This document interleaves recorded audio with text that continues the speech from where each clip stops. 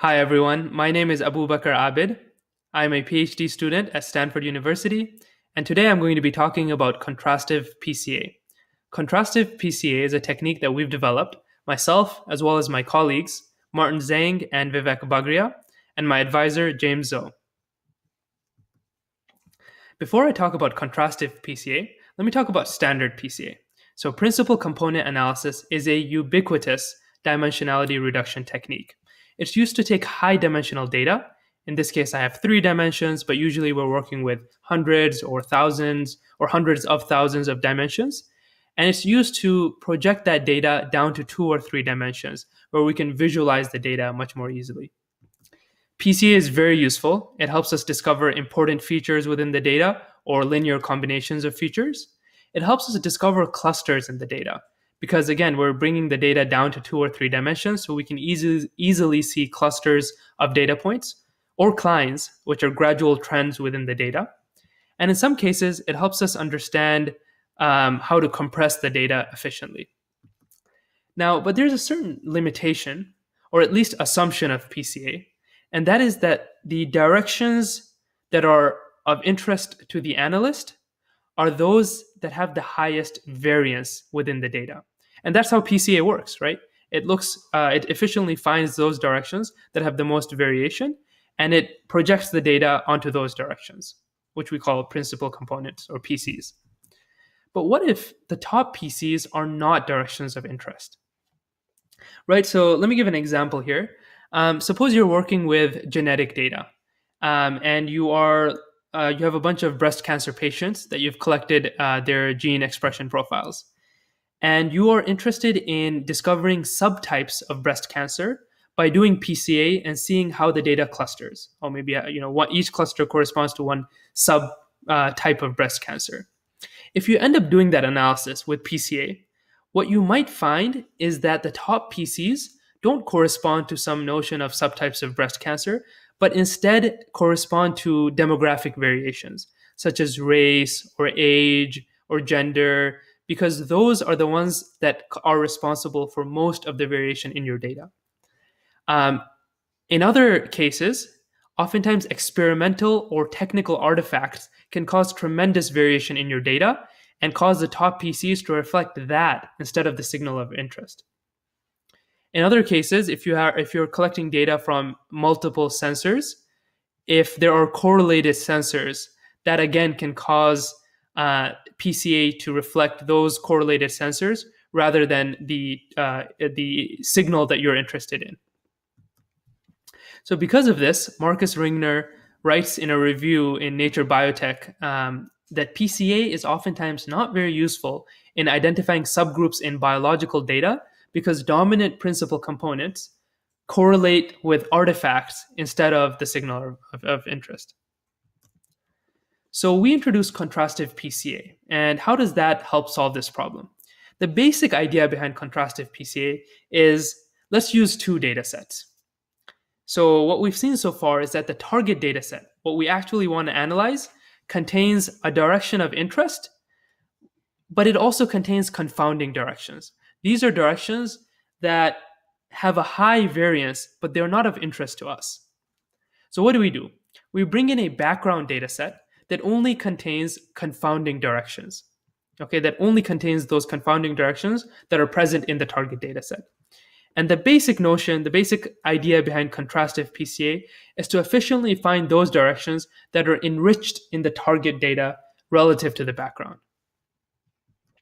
I think this is best illustrated with an example. So let me introduce a uh, data set here. This is a public data set. It consists of protein expression from mice. Um, and the data set consists of 135 measurements from mice that have undergone some sort of shock or stress, stress therapy. We're going to assume that unknown to the analyst, some of the mice um, have Down syndrome and some of them are healthy. Okay, so these labels are actually provided to us, but for the purpose of this ana- analysis, we're going to assume that the uh, the analyst doesn't know these labels. But because Down syndrome versus healthy is there's a significant phenotypic difference, we would hope that perhaps PCA would be able to pick up this difference, and even in two dimensions, we are able to visualize two different populations, one corresponding to the mice that have Down syndrome and others that are healthy. But when we do PCA from 77 dimensions down to two dimensions, we see no such trends or no such clustering. Pretty much all of the mice um, follow a similar distribution, regardless of whether or not they are healthy or um, have Down syndrome. So, this perhaps is not too surprising because it could be that the top PCs correspond to some sort of natural variation, such as age or gender of the mice. So, what do we do? We bring in a background data set. And this background data set consists of um, 135 measurements from control mice. These are mice that have not undergone the stress uh, or shock therapy. So they are control mice. And uh, yet at the same time, they do probably contain the sources of natural variation that we're talking about. So they might have uh, different ages or different genders. And so uh, we would expect that this background data set to contain those confounding factors. And perhaps when we look for differences, when we look for what sources of variations are enriched in the target versus the background, we might hope to see Down syndrome uh, versus not Down syndrome uh, be one of those differences. And indeed, that is what do, what we see. So when we do contrastive PCA, we clearly see do, two different populations, one of which consists of healthy mice, and the other mostly consists of those mice that have Down syndrome. So this is just one example. Uh, contrastive PCA is a very general technique anytime you have multiple data sets and you are interested in discovering the sources of variation that are enriched in one data set relative to the other or others, you can use contrastive PCA. So just to give a few more examples. So we've seen an example where we have a, a diseased population. And to understand that diseased population a little bit better, we introduce as contrast a healthy population. And so again, this healthy population contains natural sources of variations. And so by using that as a background, we can understand the diseased subpopulations better. Um, another example is uh, post treatment. Oftentimes, we want to understand how different populations uh, responded to treatment. So, to eliminate other sources of variation, we can do contrastive PCA with the pre treatment uh, data. Finally, um, a very interesting example, and we'll uh, show this in the next video, is when you have heterogeneous populations. Oftentimes, we have data that's collected from many different groups, and you want to understand the relationship between those different groups better. Um, but at the same time, you might have intra group variation as well.